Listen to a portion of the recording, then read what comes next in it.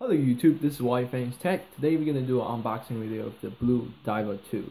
It's um Diva or yeah, I believe that's how I pronounce it. Anyway, this is a really budget phone. From the box you can tell it's not your typical $500 smartphone. It's just a basic phone for around roughly about $20 depends on who you buy it from. I bought it from Amazon for 13 bucks. This is the yellow color one. They have all different kinds of color the different kind of color they have different prices so be careful on that.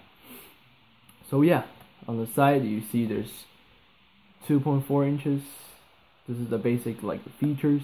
2.4 inches screen GSM quad band VGA camera TV TV okay I'm really interested how that's gonna work. Basically you can watch TV on this. Anyway Bluetooth 3.5 millimeter headphone jack micro SD card and calendar well, basically as calendar as one of those main features. That's interesting. Alright, it's a double 2 here. It shows the phone front and back. Yeah, that's pretty much it. Alright, now let's unbox it. Or my little unboxing knife right here. Just gonna slice it right from here. Alright. Alright, let's open it.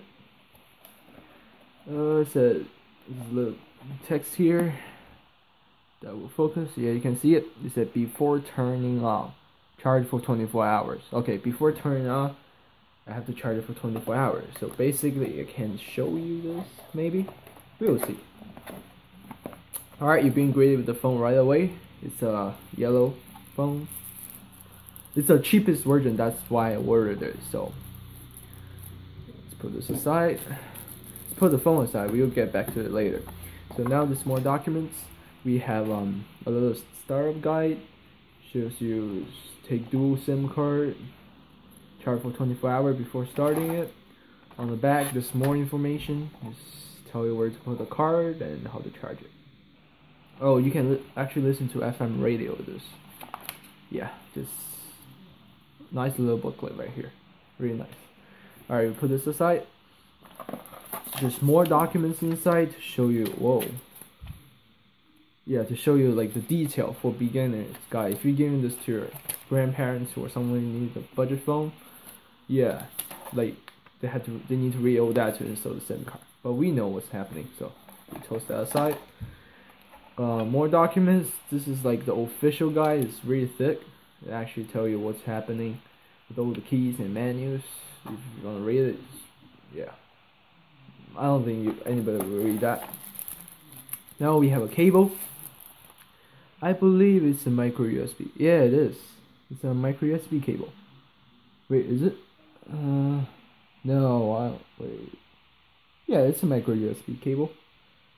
Let me let me see. Yeah, it is a micro USB cable. I got confused for a bit. Yeah, it's really nice to include that because it works with most Android phones. So that here is more in the box, and we have a charger a nice little block charger is being rated at 5 volts 0.15 amp. That's really low but it's good for this type of phone. It's not a smartphone or anything. And last we have our battery. Really small battery. Is being rated at 820 milliamp power which is pretty good for this type of phone so yeah let's try to turn this on.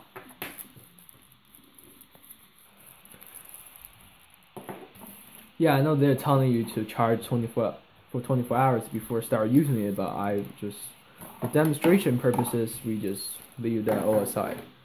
Alright, so let's take it out from the plastic. Alright, nice little phone right here. The back is just like those um plastic it feels like leather, but it's actually plastic on the side. It reminds me of the Galaxy Note 3 a lot. Like you see the size, you see the frame is um, it's like, uh, it's like pages. Yeah, it's basically like Galaxy Note 3. It's this um pleather, that's how they call it, plastic leather, pleather, pleather feeling. Actually, feels pretty nice. Pretty nice for a thirteen dollar phone. I got it for thirteen dollars, so yeah. Let's peel this off. Ooh, I like that sound. Alright, so looks pretty nice. They have really big key buttons. Um, yeah, fair keypad feedback. Kind of clicky. Alright, so let's take off the back and put in the battery. Uh, I believe somewhere here.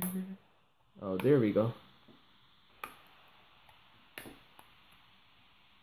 Alright.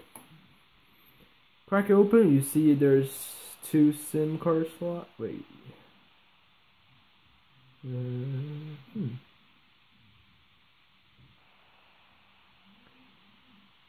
I think yeah, it's supposed to be it's a dual SIM here, so there's supposed to be two SIM card and basically this um micro SD symbol there too. So yeah, I think that's what I put. Let's put the battery in first. Put the battery in. Where is it? Put here. Alright, close the back. A nice camera with a flash. Pretty good.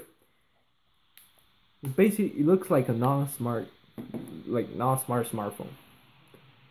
Alright, let's turn this off. See if there's any power inside. It still has some power in the battery. That's really good. Oh, I like the startup screen.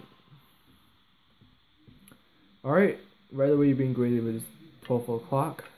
The date is now right, of course. I'll fix that later. Uh, menu. Yeah, you have the basic function. This is like um one of those like phone for grandparents.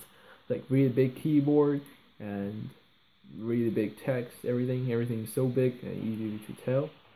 Yeah, it's really nice phone. It feels really good. It doesn't actually feel quite cheap. Not as cheap as you thought it would be. You know, this feels actually really good. Oh, I need to put that thing in.